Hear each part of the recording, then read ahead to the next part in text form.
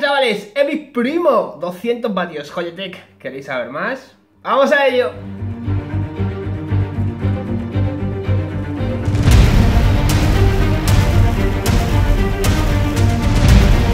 Bueno, algunos preguntaréis por qué tengo dos, otros probablemente no, porque lo mismo ya lo saben. Pero bueno, para los que no sepan por qué tengo dos, eh, no es que sea así de guay y me manden de dos en dos, nada, me mandan uno. Lo que pasa es que este es el primero que me mandaron y este es el segundo. ¿Por qué? Porque este primero eh, fue el que nos mandaron a todos los revisores. Oh, qué importante es que le manden. No, no, no, no os hagáis pajas, no.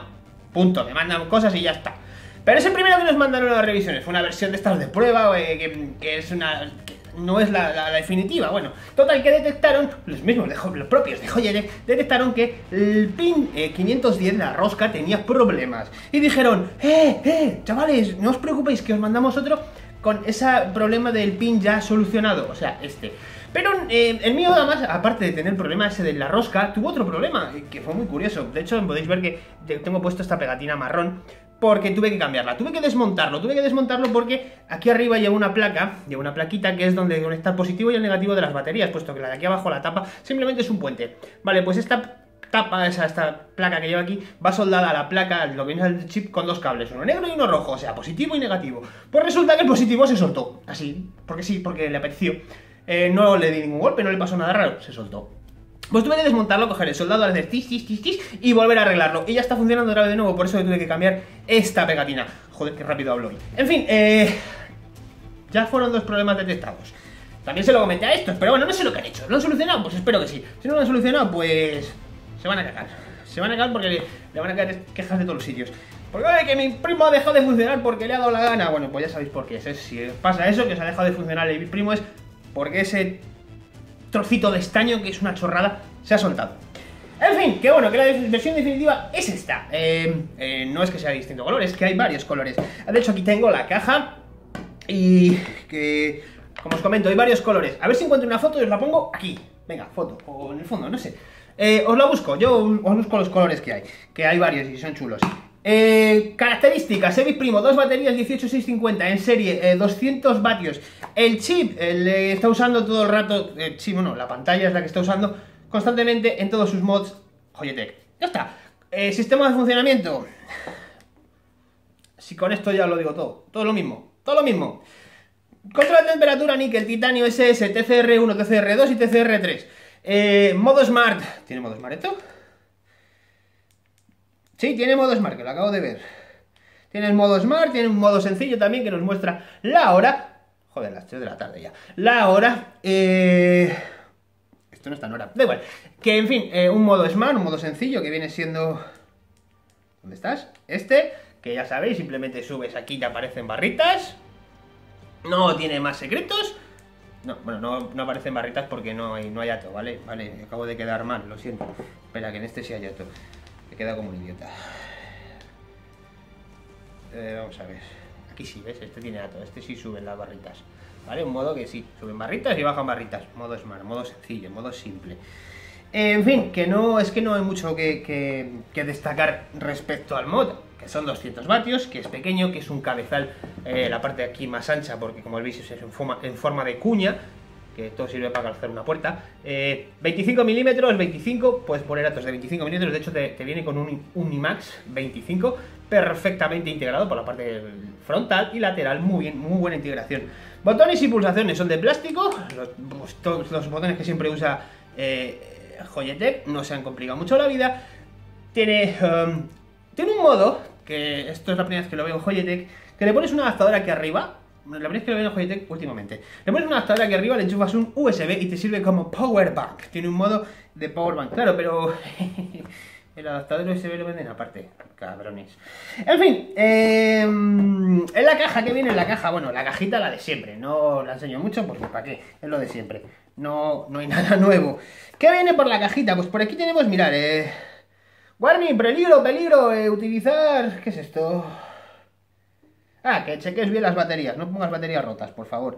Aquí tenemos un manual de instrucciones de... Ah, mira, aquí hay otra tarjeta de, peligro, esto es de la de resistencia, de que las tienes que humedecer y esas cosas. Tenemos un pequeño manual de instrucciones... Esto es una garantía. No, esto es un manual de...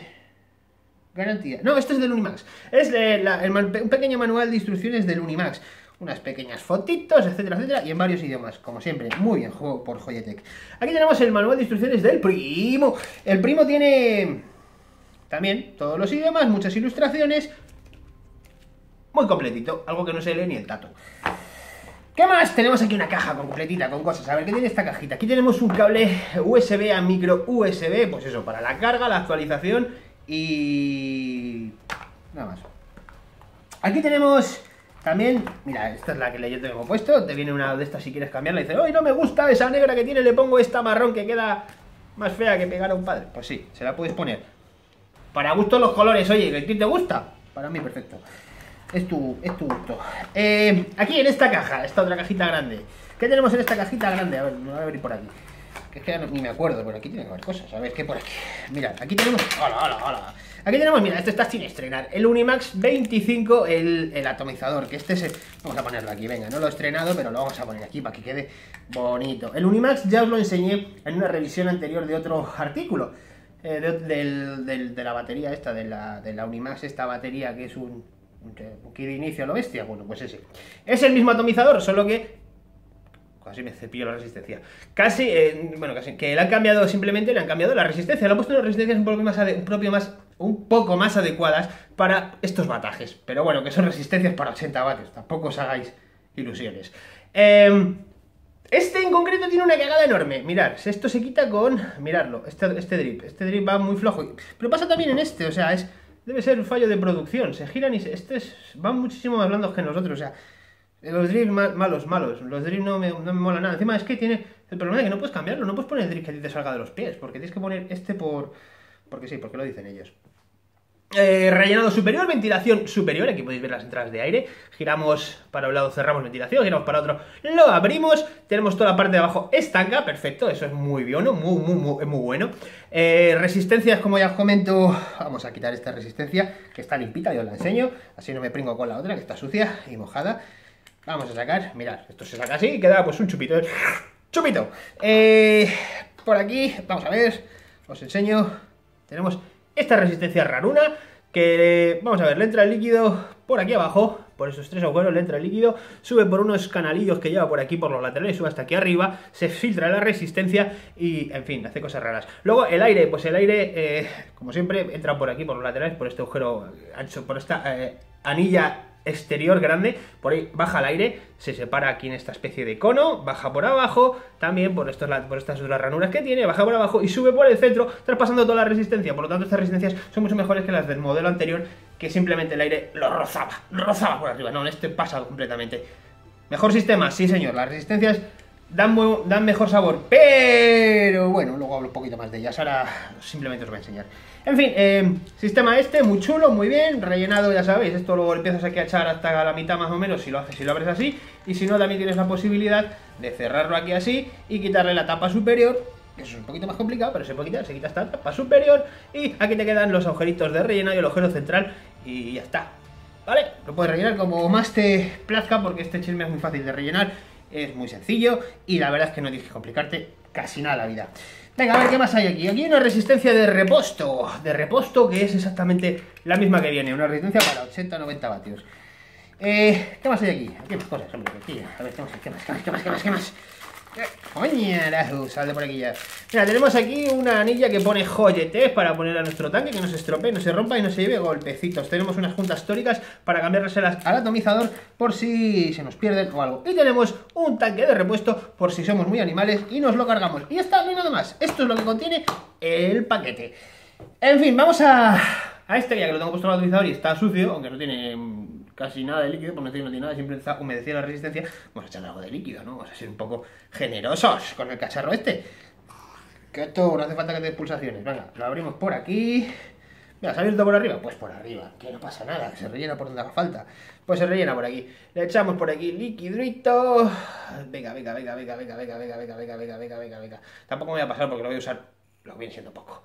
Vamos a echar un poquito más, venga, un poquito más. Tampoco hay que ser aquí tacaños, ¿no? Venga, además estoy echando el líquido súper denso, esto va a drenar fatal. Pero bueno, eh, venga, muy bien.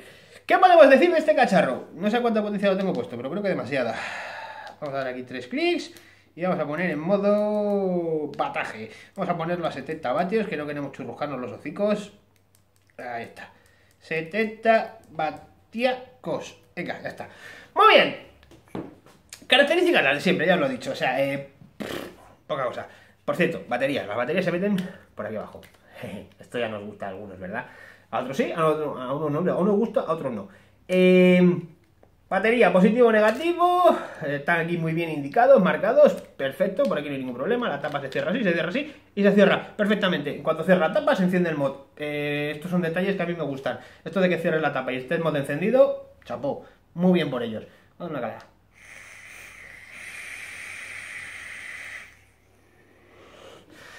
Eh, vamos a ver, en cuanto a potencia, entrega de potencia y esas cosas que tiene el mod, vamos a coger un ato de dripeo. Vamos a coger este atuco de dripeo, vamos a ponerlo en este otro que lo tengo sin, sin ato, así, y se lo ponemos aquí. Es azul, bueno, no pega mucho, pero vamos, es una prueba. Vamos a darle aquí bateaje, esto vamos a darle aquí, venga, lo tengo en el modo smart, pero vamos a darle 100, 130, 120 vatios. 120 vatios.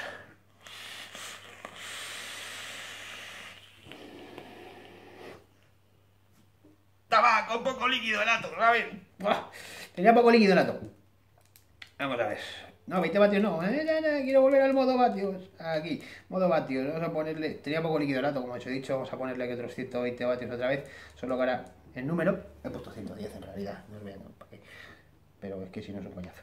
Le echamos liquidín, liquidín, liquidín, liquidín. Ahora sí. Y vamos a darle otra caladita. Ahora sí, con líquido.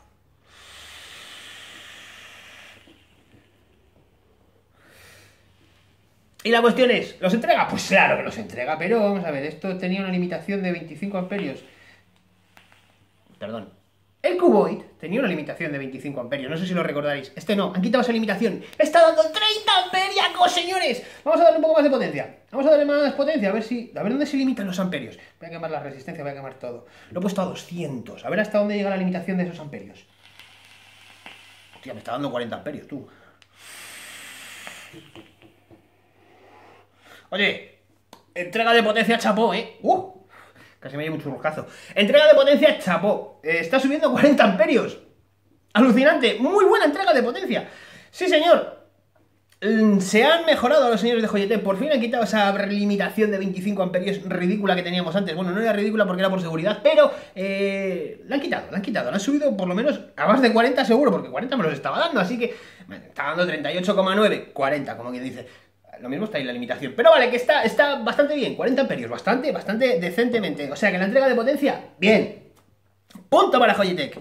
En cuanto a ergonomía, tamaño, etcétera, etcétera, bueno, a mí no me gusta tanto porque es un mod un poco ancho, un poco cuadradote, pero eh, es muy cómodo, eh, no es, evidentemente, se, o sea, está, puede rivalizar entre comillas, puede rivalizar en tamaño contra un, por ejemplo, eh, un VT166 de H-Cigar o un VT133 de H-Cigar, eh, incluso con más entrega de potencia, porque esto da más potencia que esos. Incluso lo da con resistencias más bajas y más altas, cosa que el de H-Cigar pues, no lo hace por las limitaciones que tienen las dos baterías en el DNA 200. Pero no vamos a hablar del DNA 200, vamos a hablar de Logitech. Así que, eh, entrega de potencia, bien. Tamaño, bien.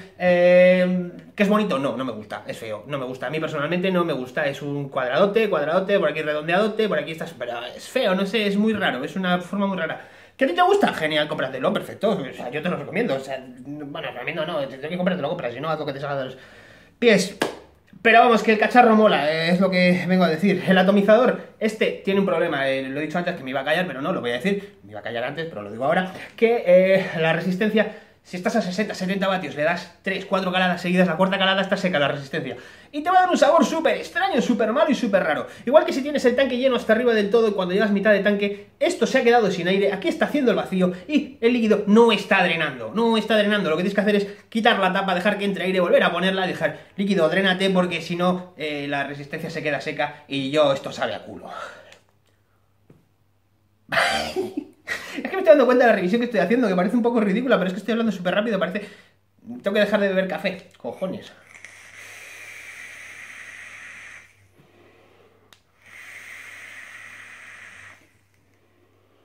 Le he dado tres caladas, ya estoy a 70 vatios. Le he dado tres caladas y esta última no me ha sabido ya muy bien. No me, no me atrevo a darle otra.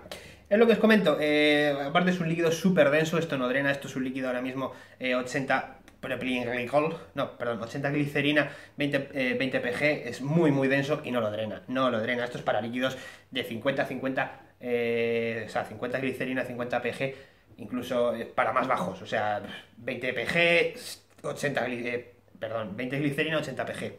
O sea, para líquidos con muy poca densidad. O para utilizarlo en verano, que ya sabéis que la glicerina en verano se vuelve más líquida. en fin, el, atomizador, las primeras escaladas, las primeras que yo le he dado, han sido bastante buenas, han tenido bastante, bastante buen sabor. Pero luego con el tiempo, ese, sabor se va degradando, va perdiendo sabor, va perdiendo esa chicha que tenía tan, tan curiosa al principio. Eh, espero que con el tiempo, con poco a poco, saquen resistencias nuevas. Evidentemente, supongo que lo harán. Joyetech sacará resistencias nuevas, eh, más bajas, más potentes, más entrada de aire. Supongo que lo harán porque a mí la resistencia en sí me parece una buena apuesta. Ese sistema que tiene de que sube, baja el aire por los laterales y sube por el centro. O sea, la resistencia en sí me parece una, buena plantea, está, está bien planteada. No está bien ejecutada, pero está bien planteada. Espero que la renueven, que hagan resistencias buenas y decentes, eh, que se dejen de cerámicas, que a mí personalmente no me gustan. Eh, y además, Joyetech nunca ha triunfado con las cerámicas, así que se dejen de rollos de cerámicas, se hagan resistencias de cuarco y esas cosas en vertical, cosas chorrerías de esas que hacen, que dan muy buen sabor, que tengan muy buen drenaje, porque a esto le falta drenaje. Seguramente hagan resistencias que tengan drenaje lateral, si no, al tiempo, y aquí lo dejo ya apuntado, si no, al tiempo van a hacer resistencias con drenaje lateral para líquidos más densos. Seguro que las hacen, y si no, me voy a quedar en su padre. En fin, poco más que decir, eh Poco más que decir.